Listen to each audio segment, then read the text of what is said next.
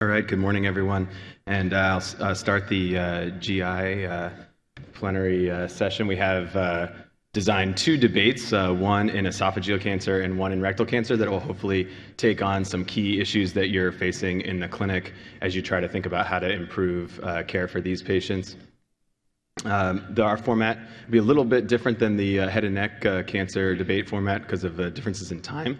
There'll be two 20 minute presentations, and then there'll be five minutes for the, an off the cuff uh, rebuttal and panel discussion with questions.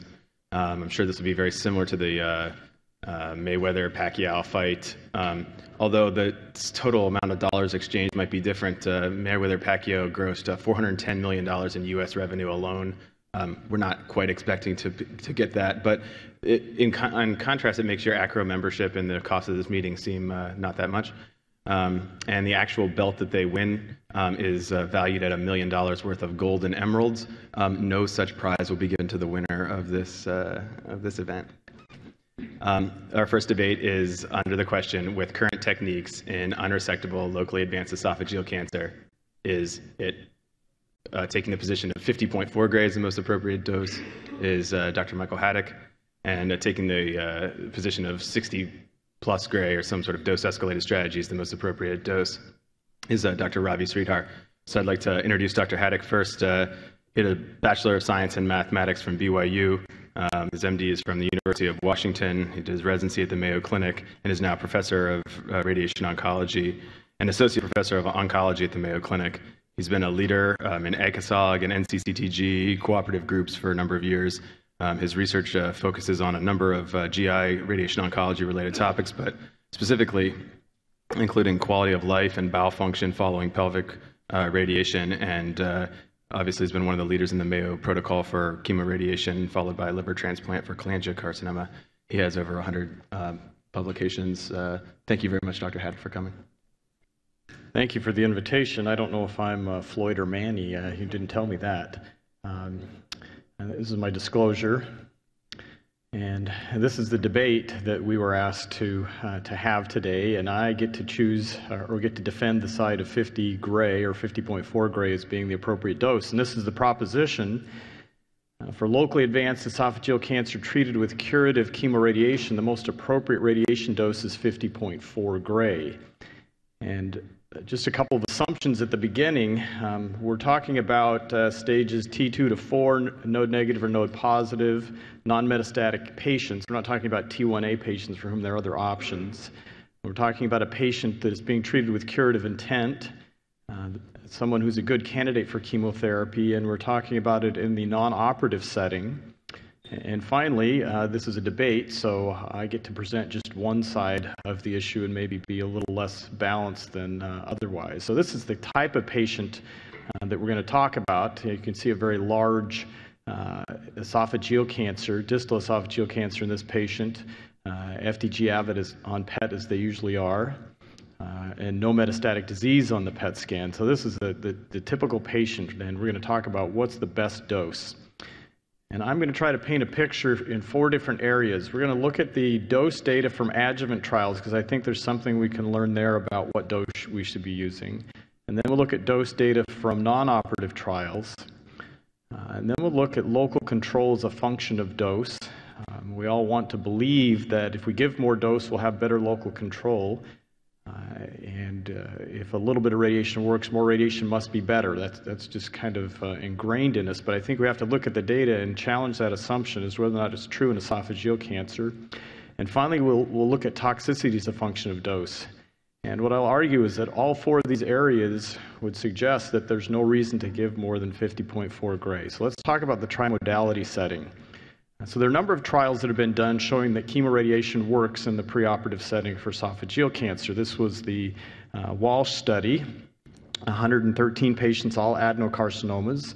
But look at the dose, it was 40 gray, 40 gray and 15 fractions. And in this study, the surgery essentially cured nobody, but adding 40 gray uh, resulted in a significantly higher cure rate. This is a, an Australian study. This is a mixture of uh, squamous cell and adenocarcinoma patients. And if you look at the dose on this study, it was 35 gray. And with just 35 gray, they cut the local recurrence rate in half. And looking at the squamous cell subset, this is progression-free survival. You can see that the progression-free survival was significantly better with just a, a low dose. And this is the German study, the so-called POET study. These are all GE junction adenocarcinoma patients. It was a study of preoperative chemotherapy, uh, which they gave uh, platinum and 5-FU, and then on one of the arms they gave 30 gray in 15 fractions. A much lower dose than we've done in any U.S. studies, just 30 gray uh, over three weeks with platinum and etoposide, interestingly enough. And what they saw is that that improved essentially every endpoint. Uh, significantly, they had, despite giving three cycles of very aggressive chemotherapy, almost never had a pathologic CR until you added that 30 gray. And adding 30 gray, uh, you had uh, eight times uh, the number of pathologic complete responses. You also had about a 30% increase in the number of patients that were node negative at the, at the time of surgery, and I'll show you why that's important in a minute. And the survival was better. So these are the survival curves according to whether or not the patient was node negative or not. And you can see that patients who were node positive after neoadjuvant therapy, they didn't have any long-term survivors, and all the long-term survivors were in the pathologic node negative group. Uh, so I point out this data to show you that 30 gray in 15 fractions sterilized lymph nodes on this trial. This is the survival. Some argue that it's not significant because the p value is 0.07, but this is essentially a positive trial if you look at the difference, uh, quite a large separation in those arms. And this is the freedom from local tumor progression. So the radiation did what we would expect it to do, is it prevented local relapses. Uh, moving to more modern studies, the CROSS trial used a dose of 41.4 gray uh, in conjunction with carboplatin and paclitaxel and showed a significant improvement in survival. And interestingly enough, they had a pathologic complete response rate of 23% for adenos and almost 50% for squamous cell cancers. Uh, so 41.4 gray uh, had a 50% pathologic complete response rate, so gross disease uh, completely eliminated with 41.4 gray. Those are the survival curves. Chemoradiation surgery significantly better on this trial. And not only was the local recurrence rate better, uh, we, we know that uh, having better local control sometimes translates into better distant control because the distant metastases usually come from the local disease. And they had fewer peritoneal metastases and fewer hematologic metastases on the radiation arm. And interestingly, the, the relapse rate in the radiation fields is only 5%. So, despite this being a very low dose, it was very effective in controlling disease in the radiation fields. And then finally, this is the last adjuvant study I'll show you, the CALGB study, which was planned to be a very large study, closed early because of poor accrual. And this is the highest dose that I've shown you yet, and we're all the way up to 50.4 gray. And that was also effective in the trimodality setting with significantly better survival, even though there were only 56 patients entered on the study. So these are the five studies that I just showed you. And if you look at the doses uh, 40, 30, 30, 41.4, and 50.4 all of those produce significant uh, rates of pathologic complete response ranging from about 25 all the way up to uh, 40 and 50 percent. So gross disease controlled with very low doses of radiation. So now let's look at uh, what's been done in the non-operative setting. What do we know about radiation dose? And I'm going to show you some historical data because there's really not a lot of information about dose. It's very difficult to uh, find studies examining dose, although there are some. And I think there's something that can be learned from the historical setting. Sometimes we, we forget the history, even when we go on to the next trial, sometimes we forget what we learned in the last one. So here's some older data from China where they looked at these patients were treated with cobalt 60, but what they found is as you escalated the dose beyond 50, the survival went in the other direction. So they had a 15% uh, five year survival at 50 gray, and went down to 7%, 7% with 70 gray. This is the original pilot data on which the RTOG uh, landmark study was based, and they had about 90 patients with radiation 5FU and platinum. And 50 of those went to surgery, and they had a pathologic complete response rate of 24% with a dose of 30 gray and 15 fractions. That's about, uh, about the same uh, number of patients that are cured as that past CR rate. So the next thing they did is they did a 22 patient pilot study, and sometimes people forget this or don't know this data. Uh, they increased the dose to 50 gray, not based on any data, just because they decided that, that since they weren't going to go to surgery, maybe they needed more dose. And what they found is that three of the 18 patients had a marginal relapse when they used uh, five centimeter uh, margins. So they actually modified the fields to include the entire esophagus and the supraclavicular re- region to a dose of 30 gray 15 fractions and completely eliminated the, uh, the marginal relapse issue. Uh, and I point that out. That's important because it may be that giving higher and higher doses to smaller and smaller volumes is actually the exact wrong thing to do with esophageal cancer. The data is consistent with uh, the hypothesis that giving uh, less dose to larger volumes might actually cure more patients. So, this was the 8501 study. Uh, one of the arms had 64 gray in it. That arm didn't cure anybody. Uh, one arm had 50 gray and 25 fractions and uh, cured about a fourth of the patients. That's the survival shown there.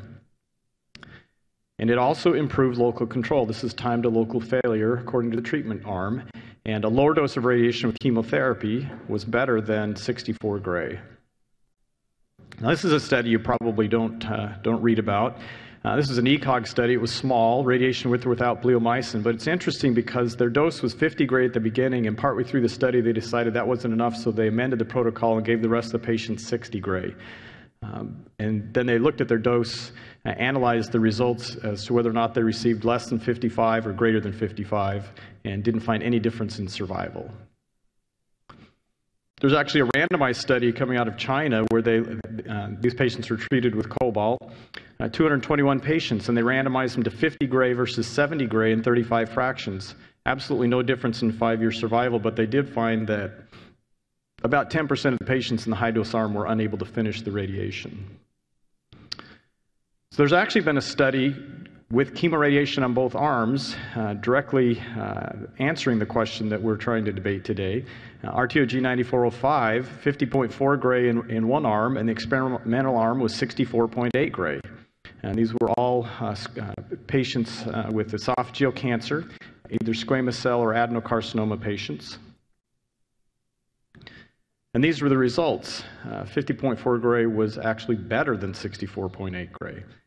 So the, the phase three level one evidence is that dose escalation is not only uh, not better, it's actually a little bit worse. Well, let's go to the next, next topic. Let's look at local control. We want to believe that if we give more dose, we'll have better local control. We have 50% local failure rates. Uh, so it's easy to want to believe that if we just gave more radiation, our local control would be better. So here's some historic data from uh, Mass General. Uh, they looked at some patients and, and, divided them into dose bins, looking at doses between 50 and 70 gray, looked at local failure, didn't find any impact of higher doses on the local failure rate. 65 to 69 gray had a 50% local failure rate, the same as 50 to 55 gray. And of course, the, the RTOG 9405 study, uh, we know that part of the reason that the high dose arm was worse is that there were, there were more treatment related deaths, even though most of them occurred at doses uh, below 50.4 gray. Um, but we might have expected that uh, the 64.8 gray would at least give better local control, and actually it didn't. The local regional failure number was higher on that arm than on the lower dose arm. And, and this is the time to, to local failure curve. And you can see that there's no hint at all that going to 64.8 gray with 5-FU and platinum controlled any more patients. So the data is really consistent with the hypothesis that there's a subset of patients that are controlled with uh, relatively modest doses. And it may be that the rest of the patients are never going to be controlled with radiation or would take doses that are completely not tolerable. So this is the, the fourth area and final area. Uh, radiation dose and toxicity. What do we know about the impacts of uh, radiation, escalating the radiation dose on toxic effects? There have been a number of efforts uh, to uh, increase the radiation dose. Here was one that the RTOG did. They gave 50 gray with 5-FU and platinum, and then they tried dose escalation with high dose rate brachytherapy. They gave 5 gray times 3 fractions and then changed it to 5 gray times 2. And the problems that they had uh, were toxicity. They had 26% grade 4 and 8% grade 5 and 12% fistula. And in fact, if you look at the RTOG series of studies looking at dose escalation, uh, including the intergroup study that I already showed you, as well as the pilot study before the intergroup study, and the brachytherapy study, All three of those studies looking at dose escalation had a grade 5 toxicity rate of 10%. So it wasn't just the brachytherapy uh, study, it was every external beam study also had a grade 5 toxicity rate of 10%. Uh, so escalating the dose is not free. And it doesn't do you any good to cure the esophageal cancer and end up with a patient that looks like this. So here's the problem. Here's a 3D plan looking at the 40 gray isodose cloud, and you can see how much of the heart is in the 40 gray volume. And if you want to do anything about that and reduce the dose to the heart, then you have to put the dose in the lungs because the dose has to go somewhere. And so uh, we might say, well, with modern techniques, we could give higher dose. So here's a VMAT plan going to 50.4 gray and 28 fractions, and you, you can see uh, what happens. Uh, these are what would be considered acceptable numbers. The lung mean is only 13.6 gray, the V20 is 19%. Uh, the heart mean in this plan is 31.6 gray. And so this is what we can do with modern techniques. Uh, using, you see how big the tumor is. With a big tumor like this, the V5 ends up being 100%, and there's actually no way to avoid that if you've got a tumor that goes from uh, the top of the thorax to the bottom. So uh, you can pick your poison. This is what happens if you put the dose in the lungs. Uh, these are two publications from MD Anderson, different numbers of patients. And it shows pulmonary complications as a function of mean dose to the lung. You can see uh, in both, uh, both publications as we get up uh, above the 15 gray mean dose to the lung level, you can really see an increase in the rate of pulmonary complications. What about heart? We can take it out of the lungs and put it in the heart. This is the Darby data from breast cancer uh, where they give much lower doses of, uh, of radiation to the breast than we do in esophageal cancer. So they had 2,000 breast cancer patients followed for 10 years. And what is shown on this graph is the increase in uh, significant coronary events per gray of dose to the heart. And what we've extrapolated to that orange curve is the range for where we are with esophageal cancer. So we're kind of off their chart. But this is what they found is that if you looked at various time periods after radiation, you had about a 15% increase in major coronary events in the fir- uh, first 10 years per, in, per single gray increase. Uh, so if we had a mean dose of 20 gray to the heart, uh, times 15, 15% per gray, we would have a 300% increase in the rate of major coronary events in the first 10 years following radiation. So anything we do with dose escalation is going to increase uh, the amount of dose that we give to the heart. There's just no way around that. And the data actually suggests that that's, that, that, that is what happens. Uh, so here's some data out of China 101 patients, they gave them definitive chemoradiation. Uh, 28% had a pericardial effusion, there weren't any clinical factors associated with the pericardial effusion rate, but the radiation dose to the heart was strongly correlated with it, and all dose levels, including the V5, the V30, the mean, all correlated with the risk of, of cardiac morbidity. And then uh, this study, which was just published this year, uh, this is modern technique radiation with uh, chemoradiation. It's uh, non small cell lung cancer, uh, so we're not treating the esophagus, but almost the same volume being treated. And so these patients were randomized either 60 or 74 gray with weekly carbo and Taxol. And what they found is that uh, on multivariate analysis, the heart V5 and the V30 were significant independent predictors for survival. Uh, so the more dose you gave to the heart, the lower the survival was. Uh, so if we're going to argue for dose escalation, how are we going to do it without increasing the dose to the heart or the lungs? And I don't think uh, that the solution is going to be treat everybody with proton beam therapy, which is the plan shown on the right, because that's just really not going to be an option for everyone with esophageal cancer. So, to conclude, uh, I think what I've shown you is that doses as low as 30 gray up to 50 gray have been proven to be effective in the adjuvant setting. Uh, that dose range works, it controls gross disease, very low local relapse rates uh, after that's combined with surgery. And I think I've also shown you that doses of 30 to 50 gray have been effective in the primary setting. And we don't actually have, we really don't have data that, that proves to us that 50 gray is better than 30 gray. Uh, that's, that's never been studied, it's just been assumed.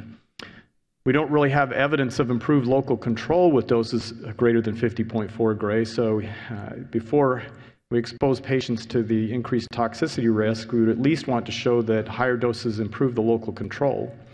And we have very strong evidence of increased toxicity as we escalate the dose. Uh, in the lung cancer study I showed you, everyone wanted to believe that higher doses would cure more patients, and it, it just isn't what was seen. It was the opposite. So I think to conclude, uh, uh, I, we would have to conclude that 50.4 gray or 50 gray would be the appropriate dose to use in conjunction with two drug chemotherapy. And with that, we'll turn the podium over to Ravi.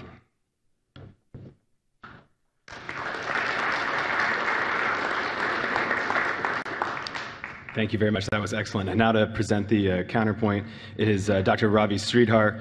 Um, did his medical training at Wayne State, has a PhD in pharmacology, residency also at uh, Karmanos Cancer Institute at Wayne State, and uh, uh, then was the chief of GI oncology at Moffitt Cancer Center in Tampa. More recently, he's uh, practicing at the Florida Hospital Medical Group in Orlando, Florida. He has extensive research background in esophageal cancer and in stereotactic body radiation therapy for uh, abdominal uh, and GI sites. Um, he's a leader in the ASTRO e-contouring session for, uh, for esophageal cancer and has more than 100 publications and has uh, done a lot of work in uh, dose escalation in, uh, in esophageal cancer. Dr. Shridhar.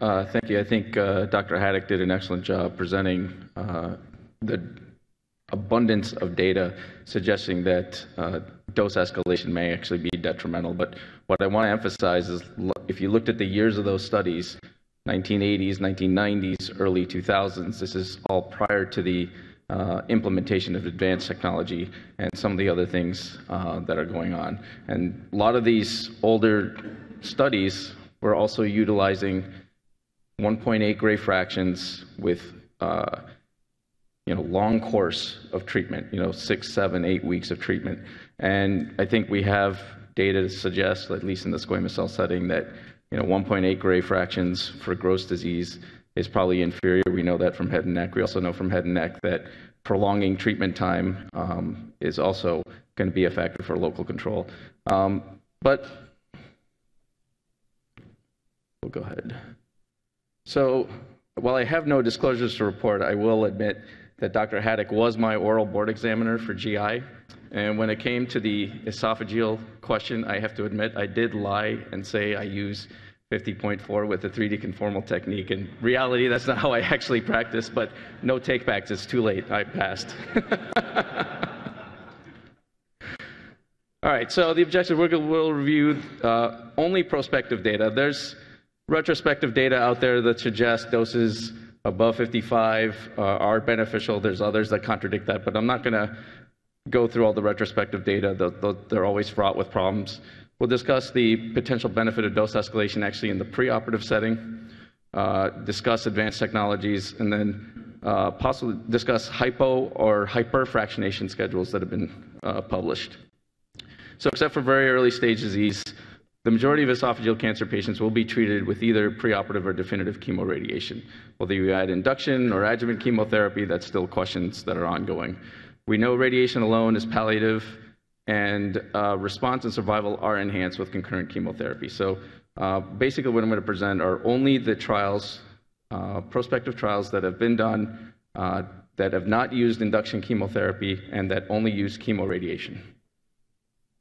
So we know preoperative and definitive doses have uh, been established in the range of 4140 from the CROSS trial uh, to 50.4 uh, from the uh, RTOG 8501. However, we still have a significant amount of residual disease that's left that can grow, progress, obstruct, and causes significant uh, uh, problems with quality of life. Um, we know that in the definitive setting, most of the local failures do occur within the GTV or within very close to it. Local regional uh, recurrence has been documented in the range of 15 to 33 percent in the preoperative setting. So even though you get response and it's out, it can, it's still likely to recur. Uh, pathologic complete response in the preoperative setting uh, is in the range of 25 to 40 percent, but when you looked at Dr. Haddock's tables, you, you couldn't find a dose correlation at all. Um, so I'll go into a little bit of that as well. So these are the, this is the classic argument against dose, dose escalation, and I think Dr. Haddock uh, pointed out a lot of the problems with the uh, intergroup trial, or RTOG 9405. Uh, We know that most of the deaths did occur in patients with, who didn't receive the, uh, even the uh, control dose. We know that in this trial, it was actually detrimental for survival and no benefit on local control. But there has been uh, evolving data. Uh, this is uh, a study out of China uh, published in 2005. was a prospective randomized trial that compared surgery versus definitive chemoradiation uh, for squamous cell carcinoma. The chemoradiation patients did receive 5-FU and 60 gray, uh, cisplatin 5-FU and 60 gray concurrently. Uh, median follow-up was 17 months, no difference in overall disease-free survival between the groups, but in the, and you can see in the chemoradiation patients, two-year survival was 58.3%. Uh, you had an uh, endoscopic uh, complete response of 92%, uh, local failure of only 17% in the uh, chemoradiation patients, and while the surgery patients tended to recur in the mediastinum, the chemoradiation patients tended to recur kind of in the cervical and abdominal lymphatics, hence why in RTOG 8501 they treated supraclafted GE junction. Uh, this was the uh, other, there were, there were basically three trials that addressed the role of surgery for squamous cell carcinoma. This is the French study. Uh, I'm not going to go into the German study because they actually had an induction chemotherapy component, but in this French study, uh, they took patients, treated them with 46 gray in two gray fractions, um, and then they assessed response and then were randomized to surgery, or they got an extra 20 gray or, or 15 gray split course. Uh, the majority of patients got 20 gray. They cl- actually closed down the 15 uh, gray split course um, after uh, an initial evaluation. There was no difference in survival between the two arms with surgery. However, you can see median survival in the, chemoradi- in the chemoradiation patients was 19.3 months, which um, is much better than what occurred in the um, intergroup trial. The two-year overall survival was 40%, also uh, better than the intergroup trial. And the two-year local control um, was 57%. So this is at two years now, not at one year uh, the, that was uh, published in, in intergroup. So at two years, they're getting the same one-year local control as uh, what, what happened in the intergroup. And toxicities, it, while there was a uh, double-digit rate of grade 3 toxicities, most of them were hematologic. If you look at the bottom uh, part, you can see uh, from nausea, vomiting, diarrhea, esophagitis, the toxicities were all in the single-digit range. So it, this, going to this elevated dose was not fraught with a lot of toxicity. Another study out of China where they looked at uh, 66 gray IMRT versus 60 gray IMRT chemoradiation, and the chemoradiation patients, uh, where there was 75, had a five year overall survival of 30%. But still, you can see that uh, the local regional relapse rate at um, uh, was 51%. But so let's, so in that trial, they did use uh, IMRT. So let's take, uh, take a few minutes just to discuss what's happened since the majority of those trials uh, have occurred.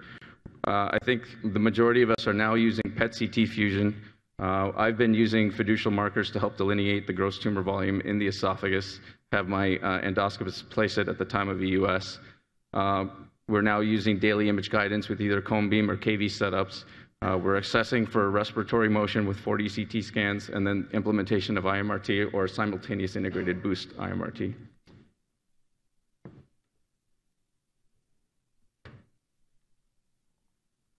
This is a figure from a paper we published on the use of fiducial markers in esophagus. You can see on the top panel, that's the uh, uh, simulation scan. You can see that the fiducials uh, delineate uh, the tumor and correlates with uh, PET CT fusion. We can use it on daily image guidance to ensure that the target is being treated, and you can see that they're stable afterwards. Can you uh, play this? We know that tumors move with respiration, especially in the esophagus. And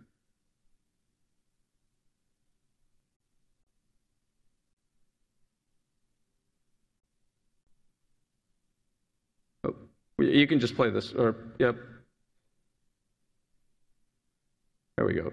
So you can see there's there's anterior posterior motion, Uh, on the other ones, you would have seen there's superior inferior motion, there's radial motion. So these tumors move a lot. So if you don't account for these things, you're going to miss. And that missing target could also affect response and local control. And you can see that uh, this was a paper published uh, describing um, the respiratory uh, uh, motions of esophageal tumors, and it can vary as much as two and a half, almost two and a half centimeters. Uh, we've, we sometimes use abdominal compression in those patients that have uh, large movements to reduce the movements. Uh, my resident at Moffitt, who is now faculty, uh, looked at uh, patients that we treated with and without abdominal compression. We looked at the 4D CT scans and assessed the motion, and we, were, we showed that the abdominal compression was actually able to reduce respiratory motion by at least 50%. Daily image guidance, you can see with the cone beam CTs, uh, this is the fusion.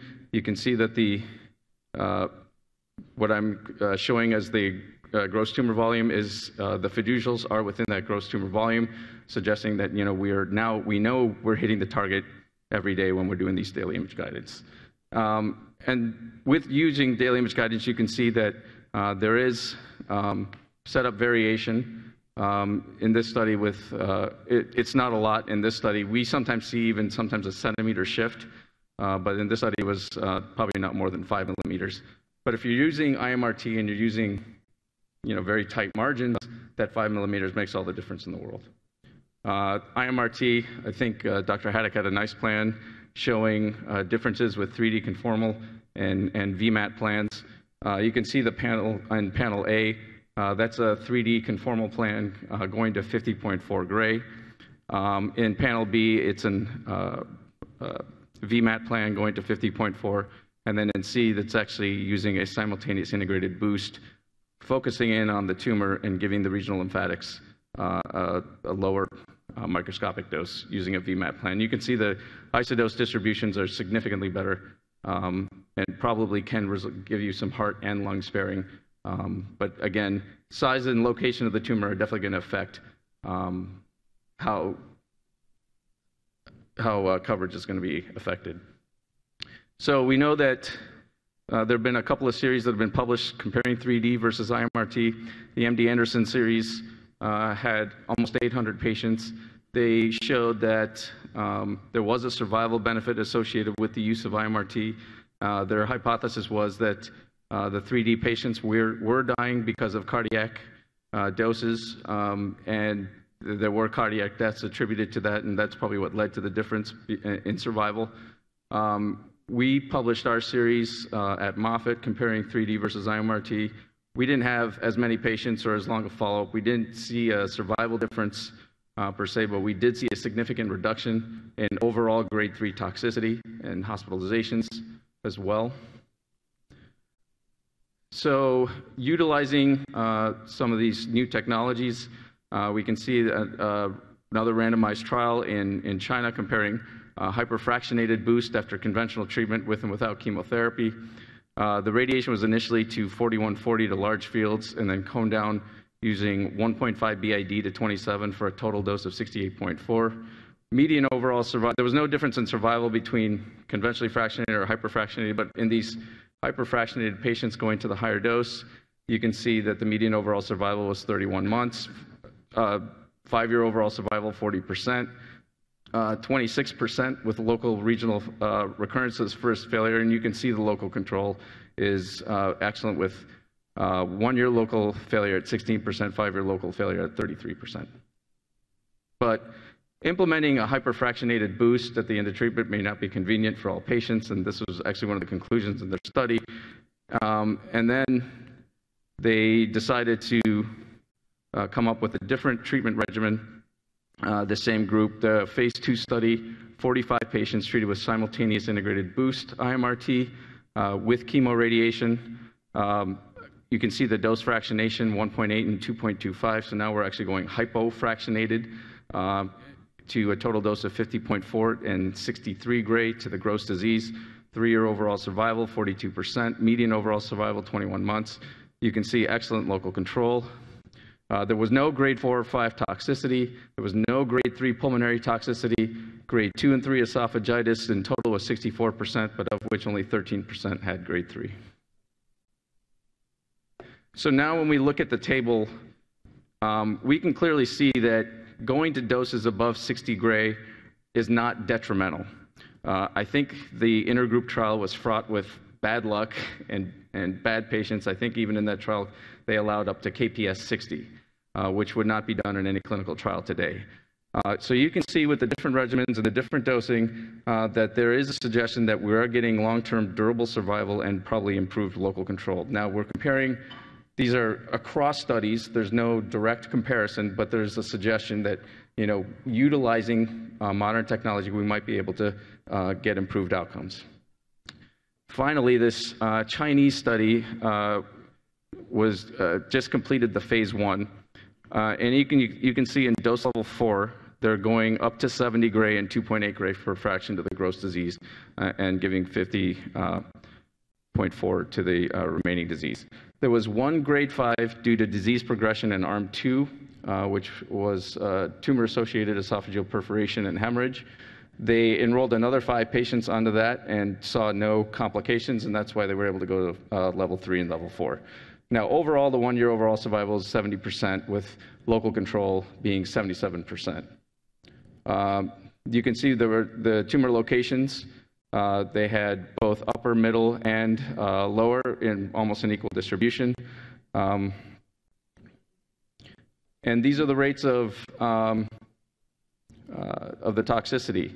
And not, it's not dramatic at all. You can see we're talking single digit numbers of some esophagitis, but uh, in grade three, there were only two. So, just briefly on the preoperative setting, we know that this is fraught. If you look, compare across trials, lots of heterogeneity. The proportion of squamous cell versus adenocarcinoma is also highly variable.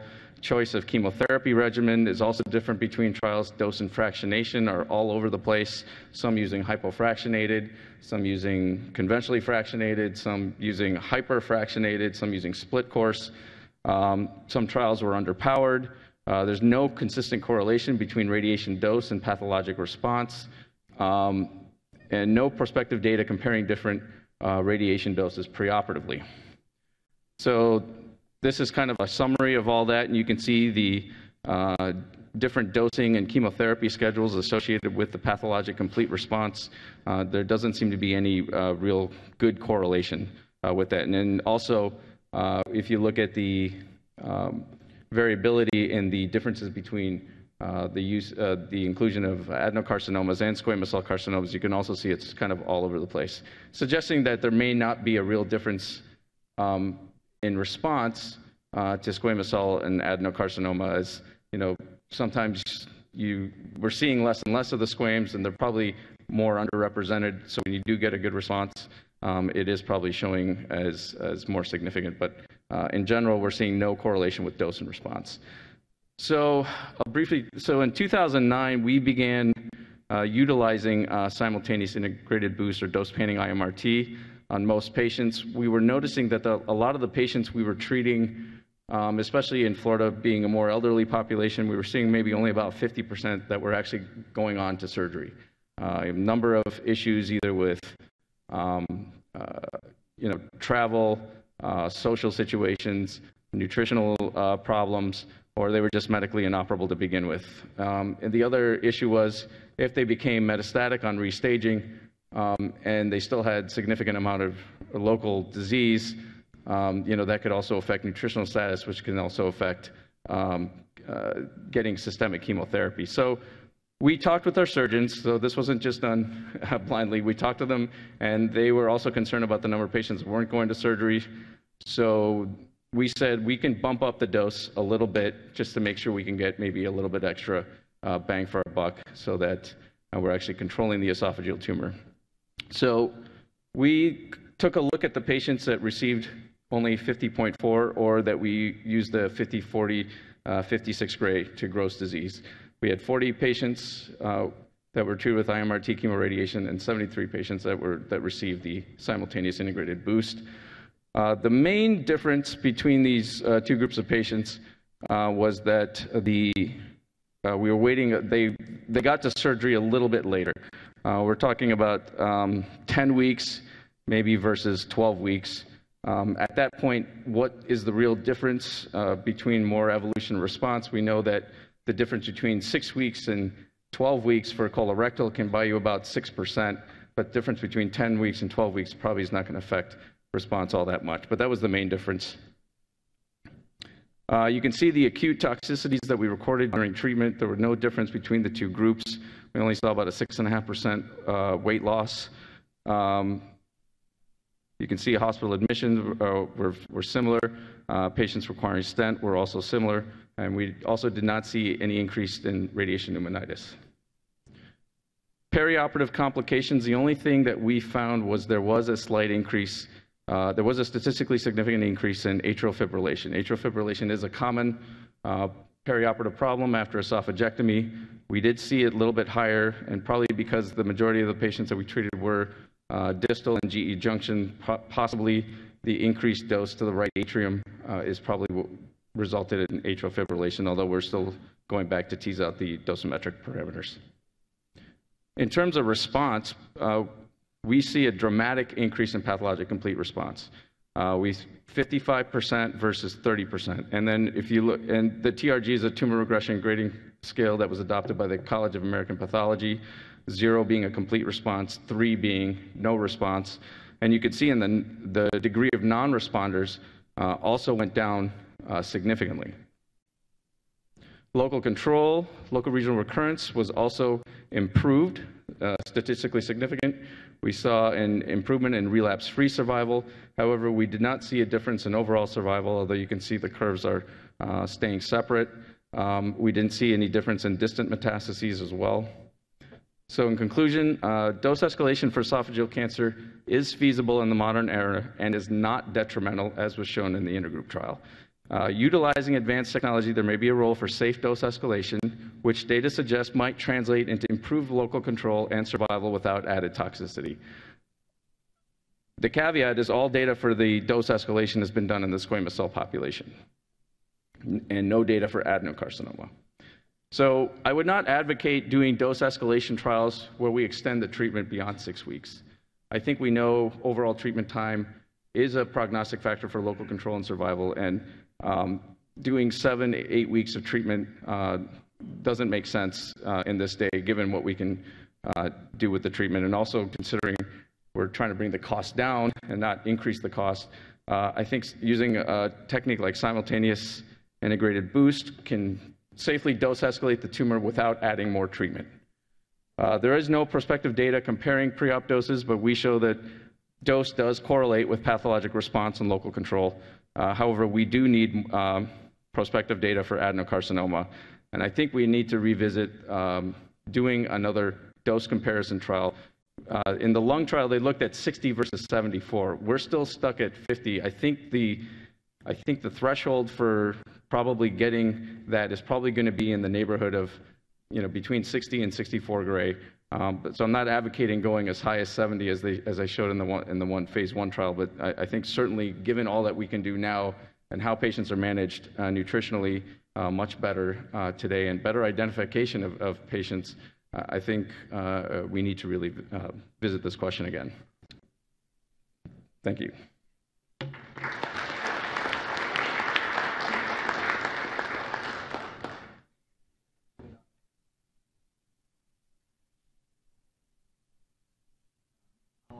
I'll give a few minutes if uh, people have uh, any questions they'd like for the panel, or just to give a chance for uh, you to give any rebuttal statements if you ha- if you have any.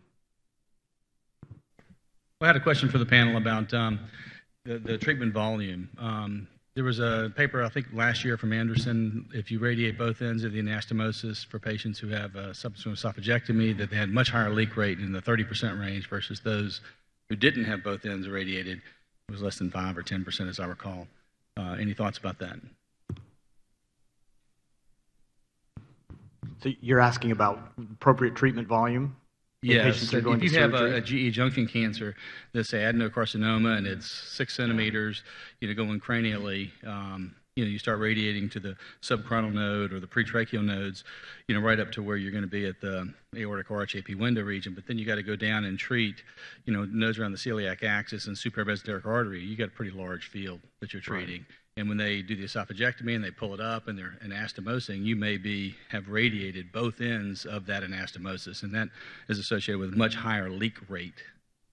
Yeah, I, if you look at the, if you look at the data, the one study that showed that this works, they treated the entire thoracic esophagus. Now, I don't do that, was, anymore. that was to 30 gray, right? was to 30 gray. Um, and, and in the very next study, in the dose escalation study, based on zero data, they decided to use five centimeter margins, even knowing that they had marginal relapses. And you do see marginal relapses mainly in the squamous cell population. Now, I still use five centimeter margins uh, on the mucosa for both adenos and squames, but I wonder if that's the right thing to do with squamous cell patients. I do see patients who relapse above the fields, and we retreat them in those cases, but uh, so I use a five centimeter mucosal margin. I don't know if Um, so, like most of the squames, I you know, we do see occasional distal squames, but most of them are still kind of upper and mid. And when I'm doing upper and mid, just because I'm extending my field to cover supraclavicular lymph nodes, I'm already probably at that five six cm margin. I definitely cover five centimeters distally. For adenos, I'm doing about three to four centimeters. Um, and I, and in terms of the leak rate uh, after neoadjuvant, we're actually uh, looked at our data from uh, esophagectomy series, and we actually were able to show that there was we show a, a statistically significant reduction in leak leak rate with neoadjuvant um, in the patients that underwent laparoscopic esophagectomy. Um, we didn't see that in the open. So now the surgeons are doing more kind of like minimally invasive. Um, I think you know the perioperative complications and morbidity associated with neoadjuvant treatment is also going to be uh, significantly reduced. But in terms of the margins, uh, I probably go three to four centimeters for adeno, and you know, like Dr. Haddock says, I, I tend to go about still five centimeters for squame. And then I'm, I'm sorry, one final question. It, it, it's hard for me to get my head around the importance of increasing the dose to the tumor that you're going to cut it out. You know, you're treating subclinical disease, and it's not like you're increasing resectability. I mean, what difference does it make if you stop at 50 or 60? You're cutting it out. For some reason, that 10 gray seems to make a huge difference. Um, but maybe it's just the selection because the people who responded, you know, at 60 gray, they had a complete response. Well, they're still a responder at 50 gray. Maybe it wasn't a complete response pathologically, but hey, you, you're cutting it out. So I, just I wonder why that's so important. So, you know, the trials comparing in squamous cell uh, the role of surgery in survival, the trials actually used doses of 60 gray. Um, and it wasn't fraught with a lot of toxicity um, or, or high rates of um, post-op mor- mortality either after esophagectomy. Ideally, these patients will get chemotherapy along with their radiation, but it's not uncommon from time to time our patients don't get chemotherapy for one reason or another. What doses would you recommend for those patients who are not getting surgery and not getting chemotherapy? So, uh, if they're not getting chemotherapy, they're not going to be cured. Um, so, really, then you're talking about doing radiation in a palliative uh, setting. So, I've been doing, uh, initially, I was doing just 2.5 to 3750, uh, and they seem to do okay in, in that regard. I've started because of our good experience with uh, dose painting. I'll still do the 2.5 to 3750, but I'll probably just give the gross disease with a small margin, like 3 to 45. And I found that that's actually, they tolerate that very well, and I haven't seen any strictures doing that. I'd probably give them 3010 uh, if they're not going to get any chemotherapy. If they're going to get single agent chemo, I've had some patients where medical oncology is willing to give them capecitabine or Xeloda, but not two drug chemo, then I give them 60 gray. My question is uh, Has the use of PET scanning changed how you have treated um, nodal disease or potential nodal disease? I mean, I think it's changed the staging. It hasn't really changed how I treat nodal disease, uh, other than sometimes you see nodes that, uh, or maybe detect disease that you wouldn't have otherwise seen. That's not too common on PET, though. Usually, what you see with PET is you, you weed out the occult liver met patients that are seen only on PET but not seen on CT scans. So I wouldn't say it's really changed my radiation volumes at all. I think the only time it really has is if I see actually tumor it's kind of extending more into GE junction than I could appreciate, and I may just modify, you know, how I delineate GTV, but not it hasn't affected nodal. For And us. then, lastly, on patients with very low volume metastatic disease, um, what are your treatment regimens? Do you use any of this technology of simultaneous integrated boost um, to jack up the dose um, in areas of gross disease? So we were, we've been seeing kind of um, more than a handful of patients that have had an excellent response to chemotherapy at the metastatic sites, but not at the primary site. And in those patients, we were then just going, if, if they were kind of cleared metastatically from the chemo, but still had residual primary disease, then we were consolidating primary with chemoradiation. I've, I've given 30, 30 gray and 10 with chemo in patients just as a palliative treatment, and oftentimes they have complete response, at least in the volume that we treat. They're not cured, but some of them live a long time.